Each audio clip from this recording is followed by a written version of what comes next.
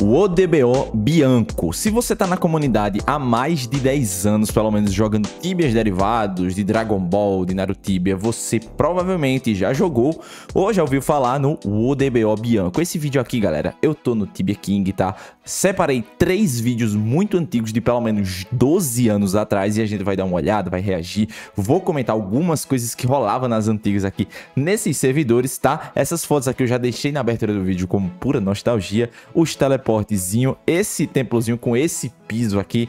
Provavelmente, se você jogou, deixei, o título do vídeo vai ser exatamente esse, o ODBO Bianco, porque provavelmente, se você é das antigas, você vai conhecer esse servidor aqui. Então já deixa o like por pura nostalgia. Se você curte esse tipo de conteúdo, considere se inscrever aqui no canal e vamos embora. Nessa página da Tibia King aqui tem três fotos do ODBO Bianco. Essa primeira aí, que eu já expliquei um pouquinho sobre ela. Outra aqui que tem outros teleportes e essa outra aqui que é a mais nostálgica para mim, que é as alavancas. Cara, era simplesmente o seguinte, esses servidores aqui, eles eram 8.0, tá? Então a galera não usava nessa época aqui 8.60, tinha bot NG nessa época aqui, mas eu, pessoalmente, jogava na mão, né? Então chegava aqui, nessa linda alavanca, sim, Ninguém tinha 7, velho. Era assim, ó, zerado de 7. Obviamente tinha como você conseguir 7 e tudo mais, mas pra frente. Mas eu era noobzão pra caramba. E aí eu pegava, baixava. Na época já tinha DBO Brasil, tá? Já tinha Dragon Ball UD, DBO KO, já tinha DBO Victory. E esse daqui era tipo assim, aqueles DBO que você ia entrar pra o XP ser acanaiadão, tá ligado? Aquele XP doideira mesmo. Era isso aqui que a gente entrava. É quando eu queria ver uma transformaçãozinha ou outra, umas coisas assim. Aí eu entrava nesses servidores aqui que eu achava facilmente na auto server list. Sempre tinha alguém lançando, né? Então, é o seguinte: você clicava nessa alavanca aqui, toda vez que você dava um clique, aparecia um bicho desse daqui. Só que tem uma questão, galera. Esses servidores travavam pra um cacete, caía pra caramba, tá ligado? Tipo, era muito, travava muito. E mesmo assim a galera jogava. E tinha muita gente jogando, viu?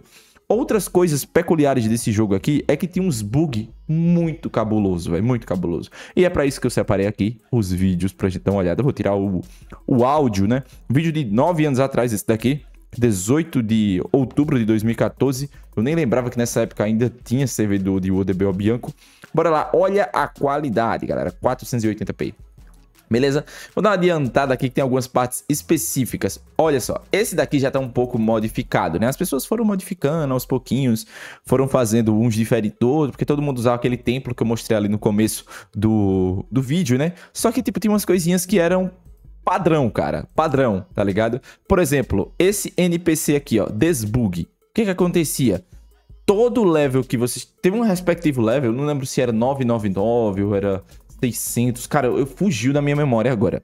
Mas se você não desbugasse seu chá e você morresse com o seu chá sem desbugar, vamos supor que você estivesse lá no level 2k, tá ligado? E o bug acontecia no level 600. Se você não ficasse usando o, o recurso desse NPC de desbugar, quando você morresse, você ia, tipo, voltar literalmente seus levels tudinho. Por exemplo, você tá lá no level 600 e o bug acontece no level 600, certo? Então você precisava desbugar seu boneco. Então se você tivesse lá no level 3k, lembrando que esses servidores, eles tinham, tipo, level 10k, 20k, era um absurdo, tá ligado? E funcionava assim os PVP. Então, se você não desbugasse seu chá e você esquecesse, tá ligado? Você morresse lá no level 20k, você voltava pro level 600 por não ter desbugado. E, tipo, isso é uma punição da porra, né? Porque, apesar do servidor ter um XP exageradíssimo, mas a forma do PVP e a forma das mecânicas que ele funcionava era assim. Tipo, esse NPC era para isso. Então, a punição maior do servidor era isso. Você esquecer de desbugar e aí você se lascava. Porque você ia ter passado um tempinho para pegar esse level 20k, né? Supostamente. Então, bora ver mais algumas peculiaridades aqui. Aqui é a sala de itens, né? Em alguns tinha essa sala aqui. Em outros não tinha essa sala. Uh, aqui tá só mostrando NPC, ó, teleporte de, de, de monstro. Eu botei especificamente nesse vídeo aqui para mostrar para vocês a, a questão do desbug ali. As cinzas eram infinitas. Esse daqui já é um pouco mais antigo. 28 de janeiro de 2012. E a qualidade do vídeo tá uma beleza também, né? Chega a tá quadrada a bichinha da qualidade do vídeo. Esse aqui é um, um cara gringo, né? Gringo, no caso, da, da Espanha, provavelmente. E ali vocês podem ver, ó. É, Olha, olha só a lentidão do servidor. Você consegue ver o lag que tá, tá ligado? Travadaço, velho, travadaço. O carinha aqui puxando a alavanca e o pano, outro aqui puxando a alavanca e o pano, um Ubi loiro, tá ligado? Aqui, aqui um Goku Super Saiyajin 3. Tinha Reborn, tá? Nesses servidores também. E, tipo assim, o problema mesmo é que, tipo, travava demais, tá ligado? Era muito, muito travamento. Lembra que para você conseguir um item tinha umas questzinhas e tudo mais. Até separei um vídeo ali que o cara tá fazendo umas quests para mostrar para vocês. Esse vídeo aqui o cara tá explicando mais sobre ela, as alavancas e tudo mais. Os combos eram na, na mão, tá? Ou ele puxando a alavanquinha aí, ó. Travando pra cacete o servidor, meu irmão. Muito travamento, ó. Aí ele soltava magia diária. Essa magia diária que era característica de todo o ODBO Bianco era mísseis, tá ligado? Você soltava magia diária, saía mísseis do seu boneco, assim, tipo, Sabe? Era isso. Todo mundo usava essa magia. Era tipo, eu não sei se era frontal só os mísseis. Eu acho que era frontal. Pode ver que ele tá virado para baixo aqui. Ele ficava soltando esses mísseis frontal. Era assim que a gente upava. Aqui. Esse aqui tá com XP de boa, ó. 746 pro... Só, no, só em uma única girada na alavanca ele upou, sei lá, 4 levels, tá ligado? Genial. Nevedita, enfim, não vou ler espanhol, né? Porque eu não falo espanhol. E esse outro aqui, que já é de 11 anos atrás. Esse aqui tava com uma qualidade um pouco melhor. E vamos lá, ele tá fazendo uma quest. Esse daqui já tá no level 3k 116, ó. Mata um bicho, já upa 2, 3 levels, tá ligado? Isso é uma questzinha de uma... De uma... De uma legs, né? Não, de uma, de uma glove. Quase que não sai, né? Vejam que a interface também... Isso aqui era o Old Client, tá? Isso aqui era o Old Client, ele era azulzinho, o Old Client.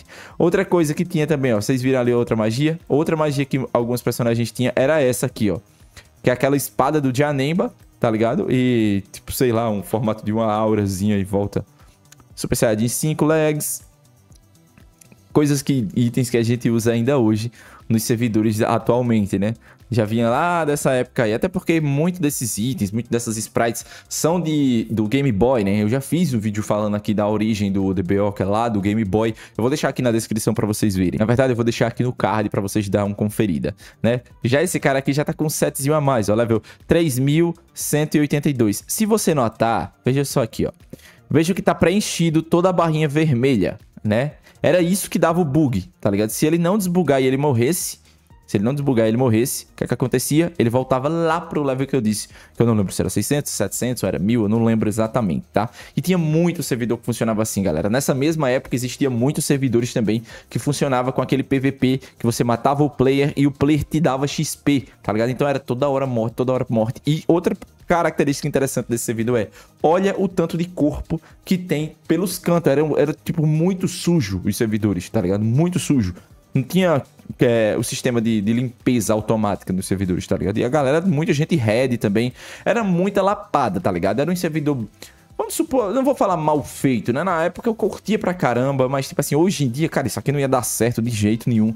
tá ligado? Não ia de jeito nenhum dar certo. Eu sei que já teve gente que tentou transferir esse 8.0 para as versões de hoje, como por exemplo o 8.60, né? Que é o que tem hoje de UDBO, que é o que tem hoje, né? De UDBO, Narutibia e tudo mais. Mas a galera não conseguiu porque tem bug pra caramba, ninguém consegue resolver isso aqui. Até tem no Tibia King umas versões para você fazer download aí, mas se você clicar na parte de scan, tem muito vírus. E aí, galera, vocês são da época do ODBO Bianco? Deixa aqui nos comentários se você jogou o ODBO Bianco, qual foi a versão, que teve V1, V2, V3, V4, V5, V6. Se você pesquisar por Bianco no TB King, você vai encontrar até o criador desse ODBO aí. Eu não sei se foi o primeiro ODBO que existiu, mas eu joguei isso lá para 2011, 2012, muitos, muitos anos atrás. Hoje em dia não temos o ODBO Bianco, mas temos o meu servidor de Dragon Ball aí, já tá online há 3 anos. Vai estar na descrição para vocês. Juntamente também eu convido vocês, caso você queira criar o seu próprio servidor aí, talvez com algumas semelhanças lá do ODBO Bianco, sei lá, de algum ODBO que você jogou, e você quer colocar, colocar a sua cara no servidor, na link da descrição vai ter também o ntlgame.shop, que é o meu curso de como criar um servidor do zero. Na verdade, é o meu site e lá vai ter duas opções, tanto na QIFI como na Hotmart. Você pode escolher a plataforma que você mais se agrada para você poder comprar, mas antes de comprar, veja o checkout e veja o vídeo que tem no checkout, para ver se é realmente isso que você quer, se você vai prosseguir com o projeto, saiba que vai dar muito trabalho, são muitas aulas, a comunidade está bem grande já, 118 alunos só na QIFI, na verdade tem mais, né? É que eu fico com essa imagem na cabeça porque eu coloquei no checkout 118 alunos quando completou 118. Fechou? Espero que vocês tenham curtido. Deixem na descrição aí, quer dizer, deixem nos comentários o que vocês acharam desse vídeo e se inscrevam para muito mais como esse.